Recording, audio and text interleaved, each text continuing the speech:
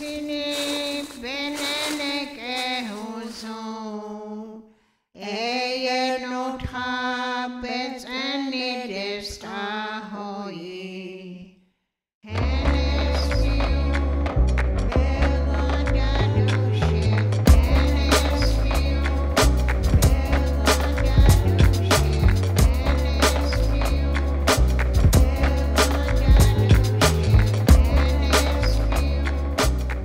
was five years old when I was uh, kidnapped and uh, uh, brought to Blue Quills.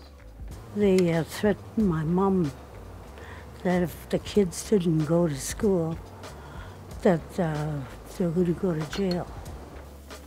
You never see your parents for Christmas or Easter. You go right through.